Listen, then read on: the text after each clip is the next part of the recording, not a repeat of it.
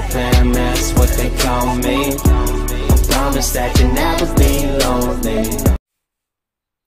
Hello, friends. You're welcome to my YouTube channel. So, it's your girl, it's your lady, it's your Queen Lavie at Belle Vie Creations, the Beautiful Life channel. Before I start this video, I would like to heartily thank you, my returning subscribers, my new subscribers, and if you're just stumbling by my videos, please do not forget to subscribe and then leave me a thumbs up. Thank you for always coming back. I love you, I love you, I love you, I love you, and thank you. So, in today's video, I'm gonna be sharing with you guys a chit chat, and today's chit chat is actually about another video that resurfaced in the Chinese social media space.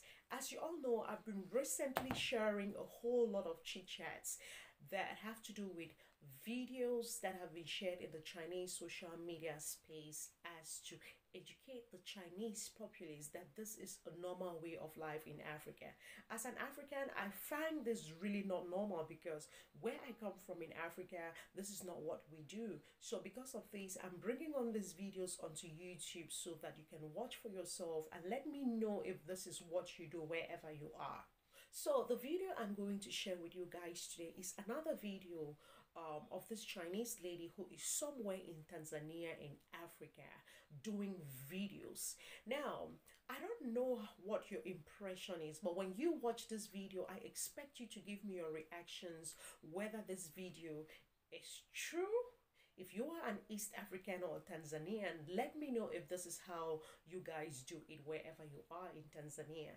So on this video, um, there are these two black girls who are definitely Tanzanians.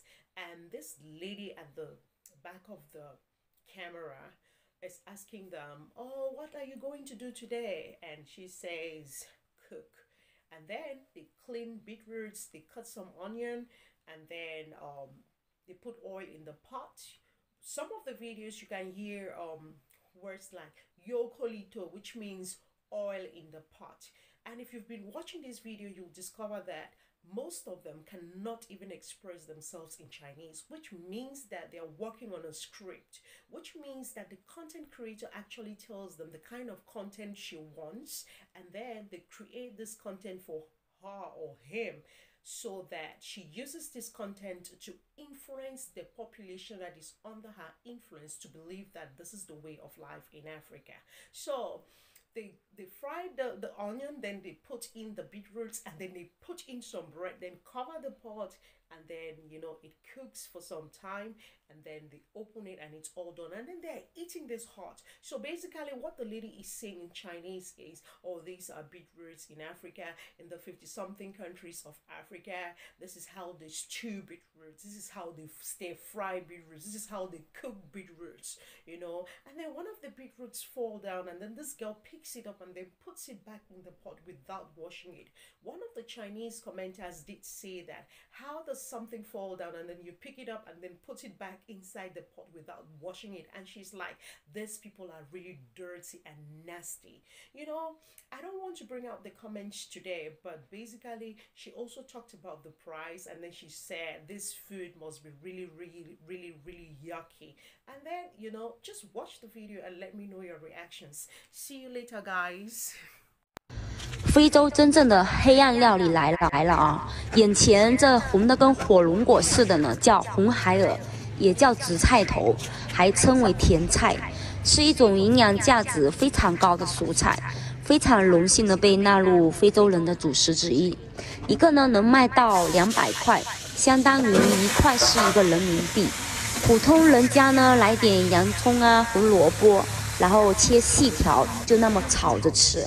但凡家里有点条件的，就像今天这样，一整个下锅跟面包炖在一起。该说不说的啊，这个味道真的让人难以忘怀。哇哦，好了。I expect that you must have definitely watched the video to the end, and these are my questions. Did you notice the amount of salt that was put inside the food? in Tanzania, in East Africa, is this how much salt you put in food? The second thing you must have noticed is the beetroot falling down and she picking it up and putting it in the pot without washing it. In Tanzania, is this how you guys do it? In Africa, wherever you are in Africa, is this how you guys do it? The third question I'm going to be asking you is the bread. Putting the bread inside of the pot, was it necessary? Is this how you guys do it in Tanzania? I mean, like bread is already baked. That's a form of cooking. That's a cooking method. So, how do you cook bread and bread and cook bread and bread again? Is this how you do it in Tanzania? Because where I am from in Africa, this is not how we do it. The last bonus question I will be asking is how is this dish called? If really this is a dish, then I would like to know how this dish is called. And I would really like to know how you eat the stewed beetroot bread. What you eat the stewed beetroot bread with? Do you eat it with rice or do you eat the beetroot bread stew the stewed beetroot bread and bread? Or how do you eat it? Let me know how you call this wherever you are in your own part of Africa, in your own part of Tanzania. So, bye and see you next time. Have a Belle Vie.